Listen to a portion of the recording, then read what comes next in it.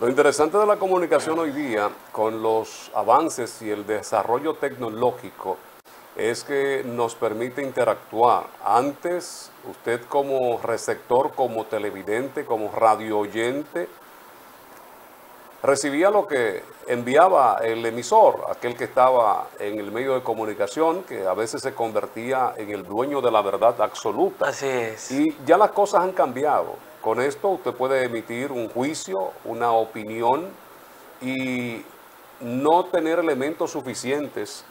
Y ahí vienen los aportes, los aportes de aquellos que nos están recibiendo. Así es.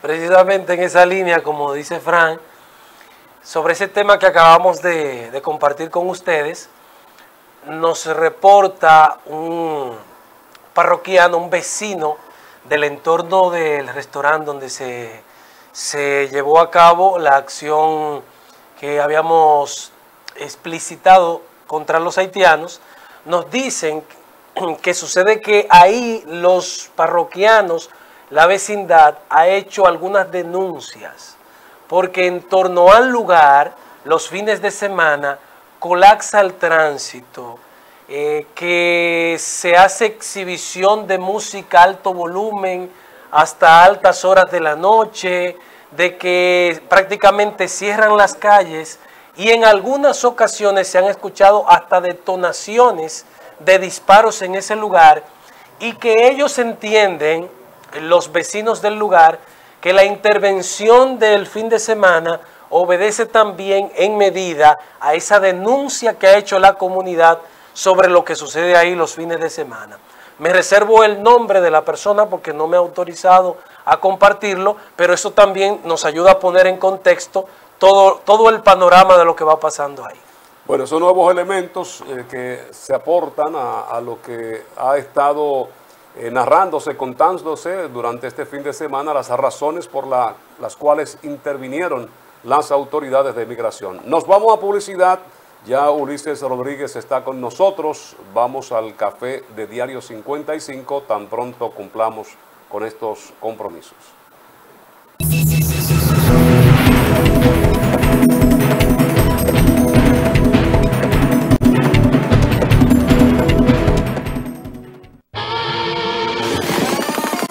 La vida pasa muy rápido, ¿no?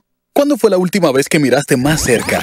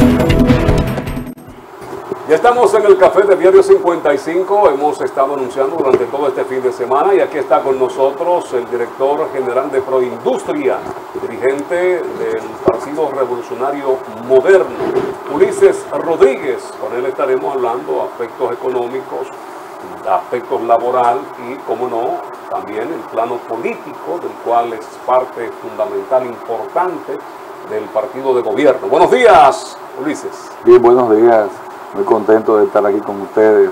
Bueno, el equipo se fortalece, ¿verdad? Se renova aquí. ¿eh? Es así. Con gente con mucho talento, gente joven. Qué bueno, qué bueno. Pues aquí estoy a su disposición. Nosotros contentísimos de tenerlo aquí porque como dice podemos hablar de múltiples temas. Está al frente de uno de los sectores que, que mayor demanda y perspectiva de futuro tiene, que es el impulso de la industria y por supuesto en el plano político es una figura que, en Santiago tiene mucho que decir. Así es, no solo por su participación en las elecciones pasadas, sino también en lo que puede vislumbrarse para el 2024. Así es. Aunque no le gustan mucho hablar de eso. Pero ya, ya le ido adelantando algo de eso. Así. Sí, ya ha ido diciendo. Usted, usted ya se pronunció sobre su disposición para el 2024 de, de asumir la gerencia de esta ciudad?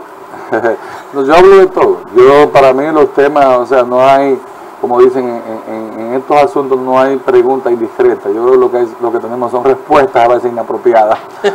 Pero todo tiene su momento y, claro que, se va a tratar eso. Lo que sucede es que ahora, en este momento, estamos, bueno, en, en el desarrollo del gobierno, de las actividades, hay cosas importantes que hay que decir, que hay que anunciar por un lado, importantes anuncios sobre la ejecutoria de gobierno, y también el PRM está en un proceso interno de elegir las autoridades. Ya se eligió a nivel nacional, entiéndase Paliza, Carolina, presidente, secretario general, eh, subsecretario y vicepresidente en lo nacional, y ahora estamos en una comisión en todo el país trabajando para que se puedan renovar los cuadros o escoger los cuadros de dirección a nivel municipal, bueno, provincial, municipal, regiones, distritos y municipios. Se suponía que todo iba a quedar igual, Ulises. Eh, ¿Qué metodología se estará aplicando para la renovación de esos cuadros como mencionas? Bueno, eh, se abrió el proceso y con ello pues hay gente aspirando y mientras tú tengas personas aspirando tienes que eh, garantizar la participación justa en un proceso democrático, transparente y participativo. Y eso es lo que estamos haciendo. Eh, es un reto, hablando claramente, para un partido en el gobierno que, que asume en medio de una crisis, cuando la historia nos dice que los partidos en el gobierno siempre posponen su proceso de elección de las autoridades. Es lógico, tiene una explicación, aunque a uno en principio no le gusta, dice, no, pero vamos a abrir este proceso lo más que se pueda pero la verdad es que la realidad te lleva a ti a, actuar con prudencia y decir, bueno, pero es que el país está en medio de una situación delicada todavía. O sea, venimos recientemente de una crisis profunda de pandemia, con una parálisis económica, a reactivar la economía y un gobierno nuevo que de cambio. Entonces, si tú le pones un, ingrediente como una convención totalmente abierta a un partido, te, y te, te vas a, involucrar en un proceso como ese, sabes que al final eso crearía una distracción. Por lo tanto, se ha hecho el proceso de convención controlada, escalonada, nacional, provinciales, las locales también, primero la nacional, luego las locales, locales de provincia y municipio. Entonces, eh, por eso se está haciendo y va bien, va muy bien porque estamos en una comisión donde se está trabajando en una avanzada, buscando el consenso, eh, haciendo el ejercicio de consenso para que eh, se pongan de acuerdo los aspirantes y eso ha funcionado de una manera que yo mismo no me lo esperaba, porque en la gran mayoría de los organismos hay consenso. Algunos eh, salen, otros y otros entran, en algunos lugares se queda igual, pero nunca igual, porque siempre entran entran eh, eh, nuevos encargados de área, departamento, o un secretario general o de organización o un presidente. O sea, generalmente Eso es lo que ha estado ocurriendo, pero el PRM ahora en este momento tiene un plazo fijo para eso.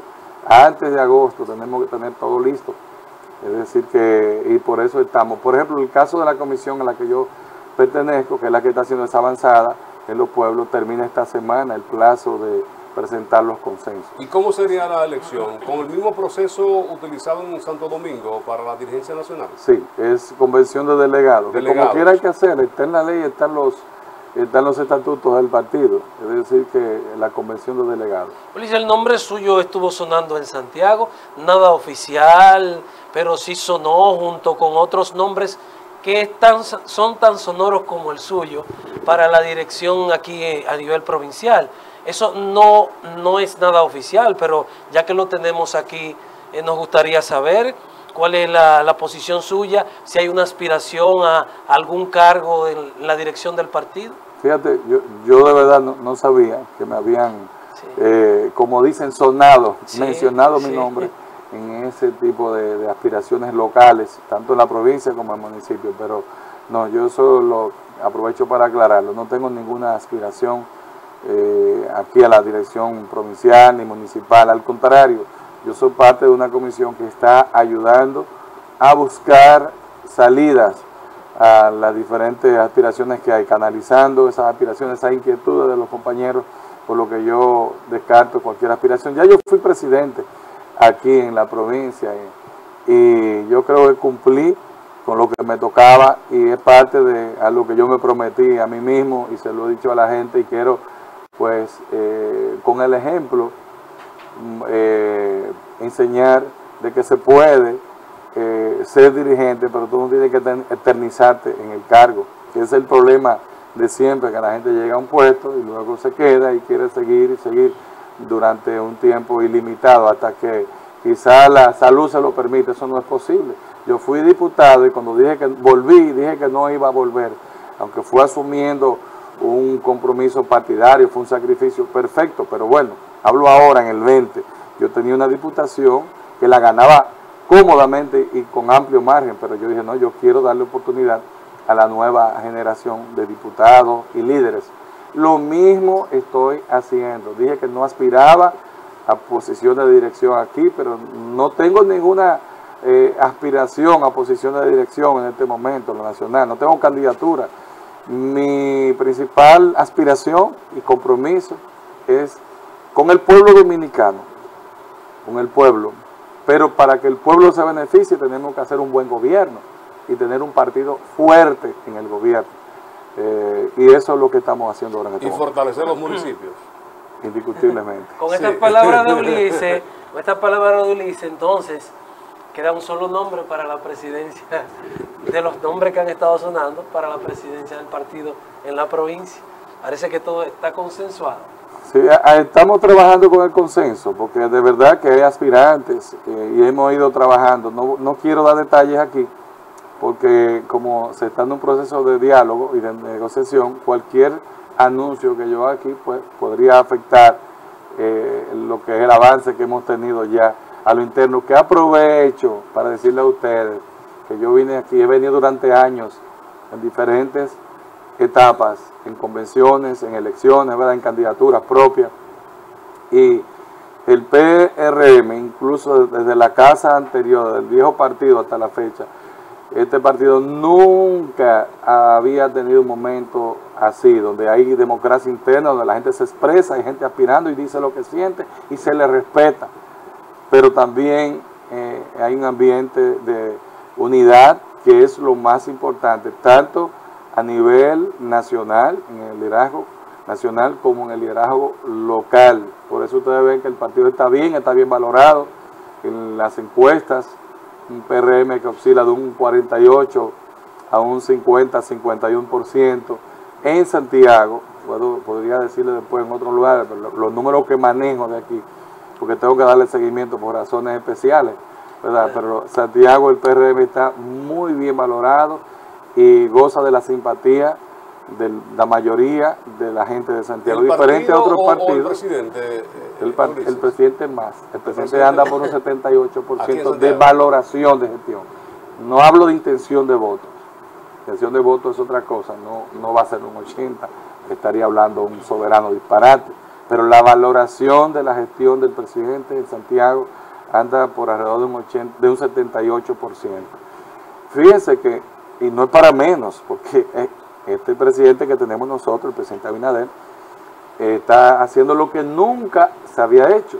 Si vemos los anuncios y las ejecutorias que hay, es para hablar mucho tiempo de que Santiago con el presidente Luis Abinader se transforma. Anunciar más de 40 mil millones de, pesos en inversión en cierto tipo de obras de infraestructura, porque hay más, pero las infraestructuras como monorriel que ya arrancó, teleférico que ya arrancó, avenida autopista, autopista Duarte, la Luperón, ampliación turística, la Francia aquí cerca. Yo lo cansaría, la Navarrete, circunvalación Navarrete, y más las obras, los empalmes de, la, de lo que tiene que ver con Santiago Oeste y, la, la, circunvalación. Entonces, eh, de verdad que lo que está ocurriendo con Santiago es algo impresionante. Durante años nosotros pedimos que a Santiago se le devolviera parte de lo que aporta nuestra economía, la economía nacional. Y tenía que llegar el presidente Abinader, Luis Abinader, para que este sueño de los santiagueros pues, se convirtiera en una realidad. Vamos a brindarle café a Ulises. Tenemos café Santo Domingo, aquí está Xiomara. Eh, lo mejor de lo nuestro con estas tres presentaciones. el Suardíper, La Roja y Gran Sierra, cultivado en la Cordillera Central, Sierra Bauruco, en Barahona. Café Santo Domingo, lo mejor de lo nuestro. Y con el café nos vamos a publicidad y ya regresamos con Ulises Rodríguez, es el director general de Proindustria que está compartiendo con nosotros este espacio.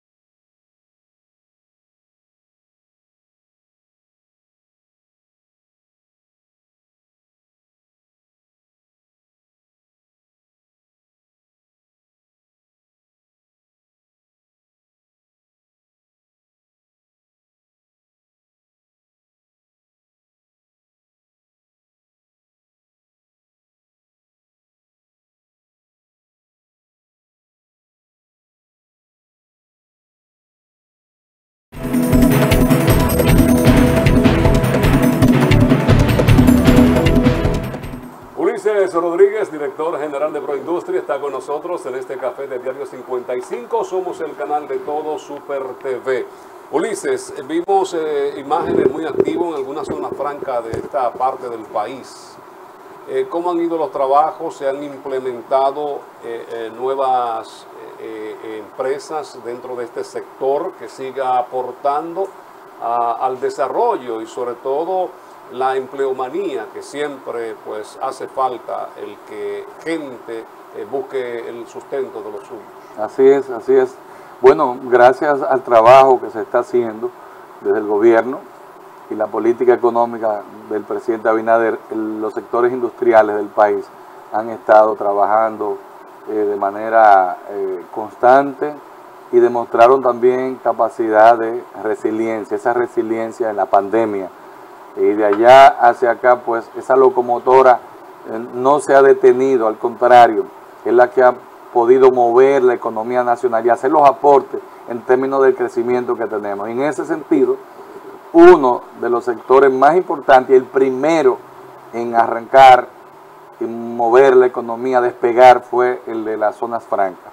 Las industrias nacionales que se mantuvieron ahí eh, produciendo durante la pandemia eh, para garantizar los alimentos y la producción nacional y la parte de exportación de zonas francas vemos como el, sector ha estado creciendo constantemente. Primero una recuperación, porque eso fue por parte. Cuando el país y el mundo se paraliza, no sabíamos qué iba a pasar con la zona franca, como tampoco sabíamos con otros sectores de la economía, industria cerrada, naves industriales, todo paralizado. Pero eh, la confianza generada por el gobierno, de una política económica acertada. Nosotros desde Proindustria, conjuntamente con el Consejo de Zona Franca, con Industria y Comercio, todos juntos hemos logrado eh, impulsar eh, el sector. En el caso nuestro, desde los parques de Proindustria, parques que estaban cerrados, que estaban abandonados, descuidados, en muy mal estado. Yo siempre digo, uso una frase que, fue la que se me ocurrió desde que llegué, es decir que muchos parecían cementerios industriales, porque eran industrias, industrias muertas lo que habían allí.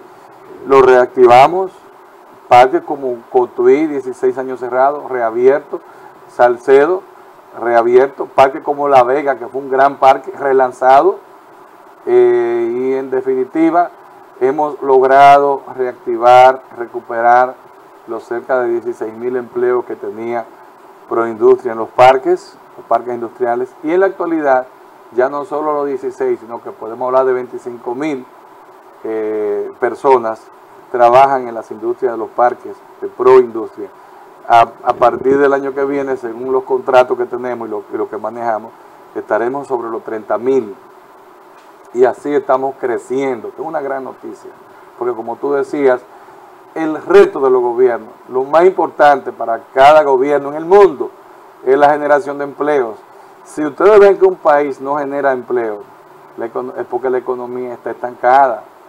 Y si se pierden es porque se está muriendo, algo, está, algo no anda bien y finalmente eso tiene consecuencias en lo social eh, y en todo, y económicamente. Después viene el impacto. Así es que nosotros podemos decir que vamos bien, vamos por buen camino, cuando ustedes ven que los sectores de la economía comienzan a levantarse. Comenzó la zona franca y la industria nacional. Pero ahí vino el turismo y gracias a Dios y a los dominicanos que están en el exterior, que mantienen las, eh, las remesas, que son un gran equilibrio para esa balanza comercial todavía deficitaria que tenemos en cuanto a las exportaciones, sobre todo en lo tradicional, porque en las exportaciones tradicionales hemos seguido siendo deficitarios, ya hemos mejorado mucho, mucho hemos avanzado, pero eh, falta más y para eso estamos trabajando. En cuanto a la agroindustria, ¿cómo está ese sector aquí en la República Dominicana? Nosotros sabemos que la zona franca es algo especial, pero la agroindustria es esencial para el desarrollo de cualquier país. La agroindustria en la República Dominicana, bueno, como sector, es un sector poderoso, un sector que ha estado en crecimiento constante. Ustedes han visto procesos de, de crisis en su momento, pero ellos siempre lo superan y vuelven, mejoran y van mejorando siempre la producción. y cuando hablamos de la agroindustria, vemos todo el sector agropecuario, desde los productores de, de, alimentos, de productores, productos agrícolas que se canalizan, se exportan. Vemos, por ejemplo, el tabaco, que es un producto que tenemos nosotros aquí, que se procesa, se le da valor agregado y, y es el área de mayor crecimiento que hemos tenido el producto agrícola ya terminado con valor agregado de mayor crecimiento en la economía nacional, convirtiéndonos nosotros en una potencia mundial en cigarros. Eh, y con las exportaciones aumentando cada, cada mes, yo diría, eh, anual, cuando vemos el corte, al final vemos que el crecimiento es significativo. El banano mantiene un buen posicionamiento y, así cuando vamos a, la producción de pollo, de cerdo, eh, y de carne en sentido general, eh, nos damos cuenta del avance que hemos tenido. Antes aquí no se procesaba, ya hay una industria cárnica fuerte, que no solamente producimos los alimentos, también eh, producimos la carne, como las que mencioné, y la procesamos.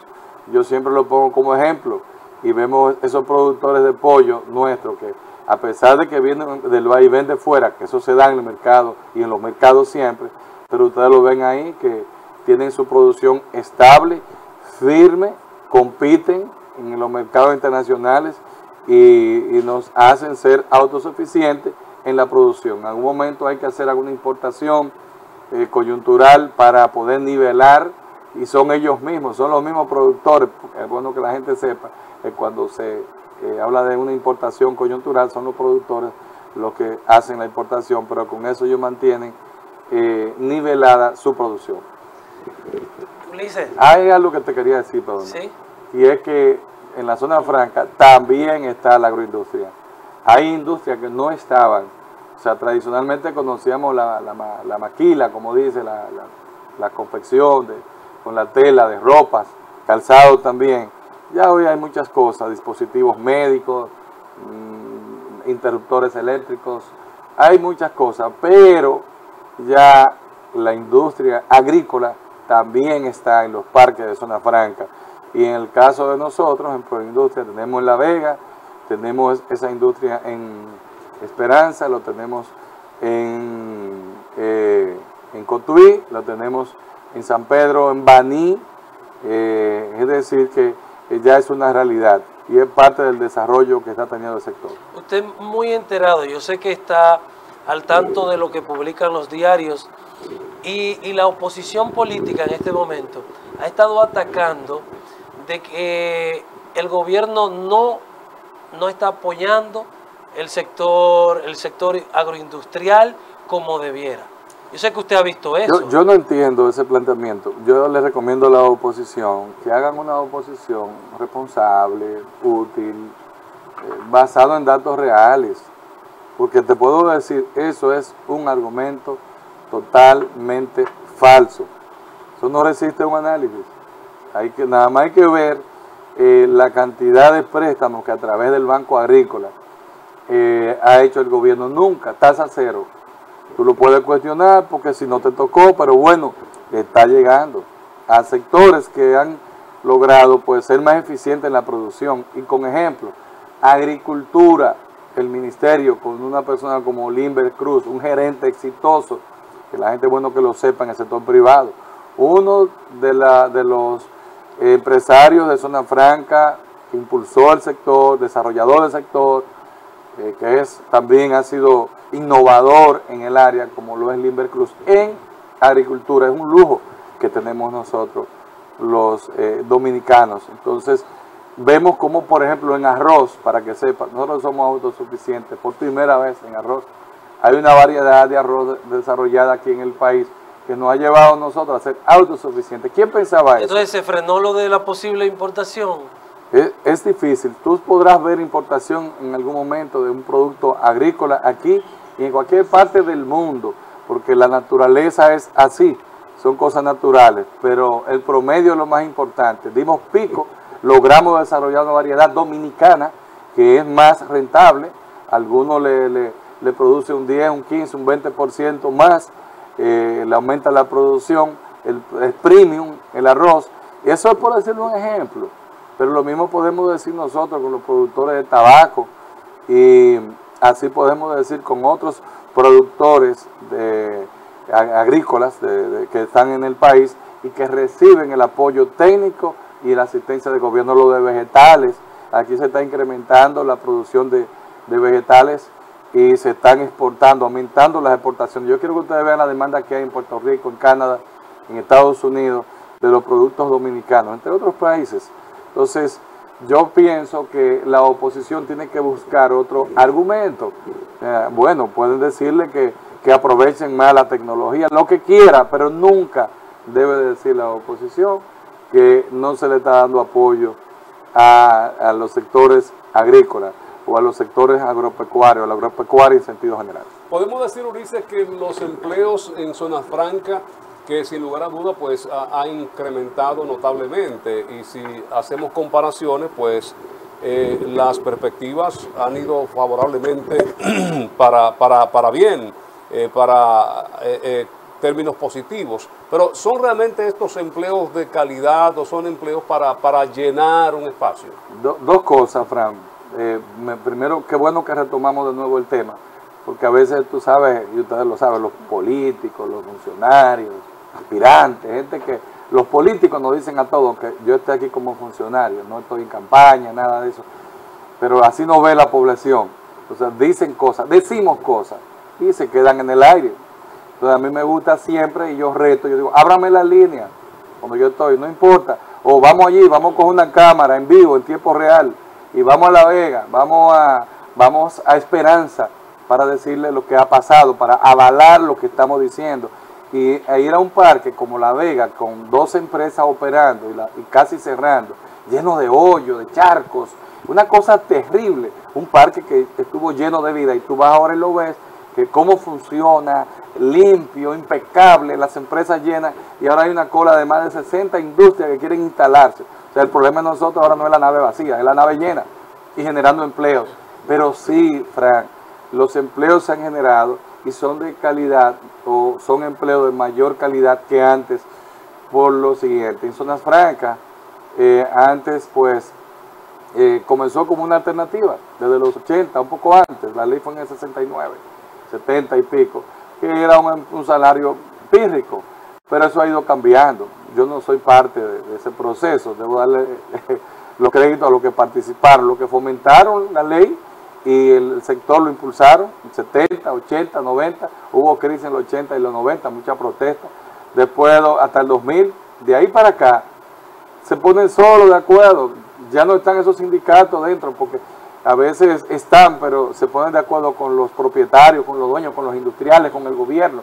Ahora, cuando Habíamos escuchado nosotros en la República Dominicana, yo digo cuándo, eh, eh, decir que se hace un aumento de un 20%, no de un 10 ni un 5, de un 20%, sin echar un pleito, sin una crisis, sin nada. Y ustedes saben, eso pasó sin pena ni gloria. Yo me di cuenta que los, el sector Zona Franca y el gobierno, el Ministerio eh, de Trabajo, con la unidad correspondiente de salario, eh, se anunció un aumento de un 20% que se está ejecutando en zona franca al salario de la, de la persona que trabaja en zona franca, de los trabajadores de zona franca. Ustedes lo sabían eso. Eso hace varios meses, pero eso no se, no se, no se le dio la difusión porque, bueno, fue, se hizo sin un pleito. Entonces, esa es la realidad del sector. Mejores condiciones laborales. Que, puede, que hay otra cosa que que deben de, trabajarse y convertirse luego en conquista de la clase trabajadora, yo estoy de acuerdo. Pero resulta que hoy las condiciones medioambientales son mejores, que a las madres, las zonas francas que tienen más desarrollo, hay centros de cuidados infantiles, eso no estaba antes, o estaba en muy pocas. Eh, salario, aumento de salario sin echar un pleito en un 20% como señalamos. Y entre otras cosas, eh, que son beneficios que está teniendo la gente. Sobre todo para mí lo más importante, es la oportunidad de tener un empleo, que es algo, señores, difícil. Cuando abrimos un parque como el de Salcedo, que fue ahora, recientemente, y tú ves una madre soltera eh, diciendo que no sabía qué hacer, que estaba desesperada y que gracias a, esa, a la apertura de esa zona franca encontró el sustento, el medio de sustento de su vida. O un joven que era quizá candidato a que lo atrapara eh, la parte mala de la sociedad, a que cayera en vicios, en depresión o, o, que, o en delincuencia. Bueno, pues si tú le ofreces oportunidades, vas a reducir la posibilidad de que esa gente sean víctimas en las calles de esos males sociales, que se vean arrastrados a delinquir hacia la delincuencia. Entonces, yo creo firmemente en eso, creo en el Estado que fomenta el desarrollo a través del crecimiento económico y la generación de empleo. Eso es lo que representa el presidente Luis Abinader y para eso estamos trabajando. Proindustria, porque nos queda ya poco tiempo con usted. Proindustria, en este momento, si tuviera que definir un objetivo principal en el que está trabajando, ¿cuál es? en el que está trabajando. Voy a este decir en pocas palabras, una institución que la encontramos completamente eh, este, pasiva, eh, se hacía muy poca cosa, un perfil muy bajo, pero no es, resulta que es nada más y nada menos que el Centro de Desarrollo y Competitividad Industrial de la República Dominicana. O sea, el instrumento que tenemos nosotros los dominicanos para impulsar la competitividad, para que se produzca mejor y más en las empresas y la industria nacional, para competir en los mercados internacionales en buena lid. Y eso es lo que nos hace a nosotros pues crecer. Si no competimos, nos sacan de los mercados. Yo lo vi así. Yo dije, oh, pero muchos me dijeron, ¿y qué tú vas a hacer ahí si eso está eh, este, abandonado? Ahí no se hace nada. Ahí no hay presupuesto, ahí no hay con qué hacer nada. Pero yo vi oportunidades y vi el compromiso que yo tenía con el presidente Abinader y con el pueblo dominicano. A nivel de la región, esa ¿Qué podemos hacer? Nacional, porque es, una institución que tiene que ver con el, en el país, con la competitividad industrial y con los parques de zona franca que maneja el gobierno. Entonces, eh, vimos eh, la necesidad de hacer una transformación y eso es lo que hemos hecho en Proindustria. Una verdadera transformación de la institución, cambiando la imagen, haciéndola más funcional, operativa y además llevándola a la ley, a que Proindustria cumpla con ese mandato de la ley de, convertirse en un verdadero centro de desarrollo y competitividad industrial, en un soporte a la industria nacional. Gracias, Ulises, por darnos parte de tu tiempo. Sabemos que tiene otros compromisos y que lo habitual es que terminemos ¿verdad? a las nueve, pero ya nos señalaba que había hecho otros compromisos los cuales debe eh, responder y cumplir. Eh, nosotros vamos a publicidad, gracias a Ulises Rodríguez, el director general de Proindustria, por haber estado con nosotros estos minutos. Nosotros regresamos ya para el final de este espacio.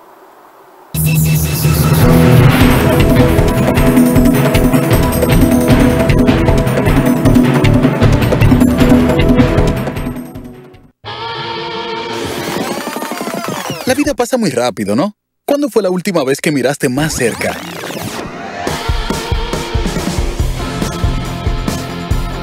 Que te atreviste a intentar cosas nuevas. Que decidiste hacerlo más que pensarlo. Y que sentiste miles de nuevas emociones.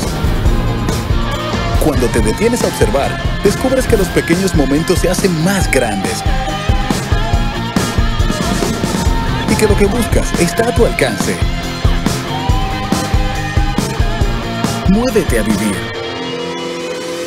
Popular. A tu lado siempre. Hace mucho tiempo, durante todos esos meses que estuviste... Conchole, ahora solo me queda chatía.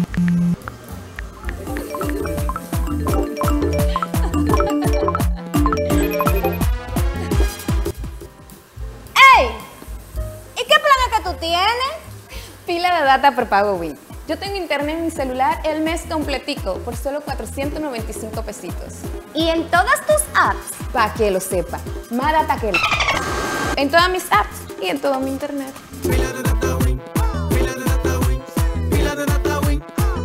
Dame pila de data Win. Y a mí. Y a mí. Confío en ti, en los resultados que me das. Y sé que siempre tú me la verdad. Al leer tus palabras, siento más seguridad. Tus resultados me guían, en ti puedo confiar cada día más. Laboratorios Pedro Jorge Blanco. Resultados confiables.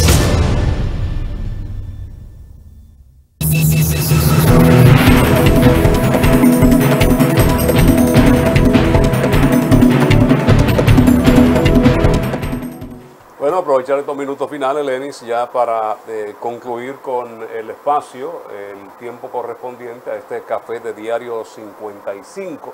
Ulises Rodríguez hablando de eh, la ampliación en zona franca, que está muy enfocado y a veces uno cree que eh, otros sectores no han sido de tanto crecimiento como, como este, en donde eh, los empleos que ellos destacan se han recuperado, están enfocados ahí. Sí, yo creo que la zona franca para nosotros es vital y ciertamente el grueso de, de los empleos de allí necesitan seguir creciendo en calidad.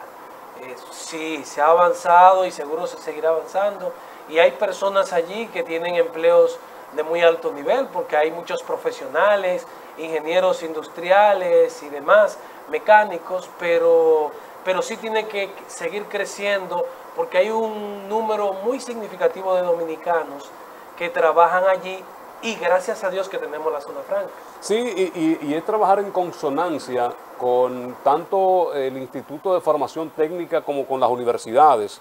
¿Qué estamos necesitando nosotros? Y visualizar.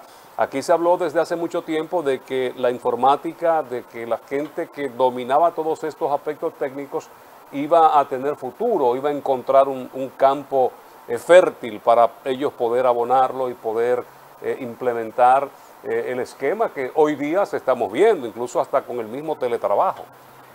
Ya el teletrabajo está integrado, prácticamente uno desarrolla reuniones que antes tenía que hacer un viaje a Santo Domingo para una reunión de una hora desde el Cibao, ya lo desarrolla así y con entidades de otros países.